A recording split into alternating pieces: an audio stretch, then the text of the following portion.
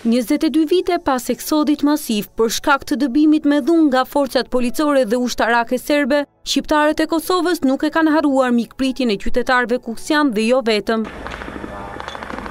Në shenjë falënderimi dhe respekti për të gjithë ata që hapën dyert e veta për të pritur të dëbuarit, një grup përfaqësuesish të shoqatës Eksodi nëntëdhjetë, Kanë marshuar nga dogana e Morinës drejt qytetit të Kukësit, për të dytin vit radhazi si pasojë e pandemisë, pjesëmarrja në këtë datë përkujtimore ishte më e ulët. Jemi sot në Kukës për t'i falënderu kuksianët që kanë dhonë ndihma përtej mundësive të veta, jo vetëm Kukësi por gjithë Shqipëria. Në ato rrethana Kukësi, në Kukës realisht shqiptarët u bashkuan dhe, Kukësi mbeti dhe do të jetë simbol i bashkimit të kombit ku së bashku i kalum ditët ma tragjike dhe së bashku filluam ngjarjen e re historike. Të t'i mohosh zhvillimin e Kosovës dhe Shqipërisë nuk është mirë.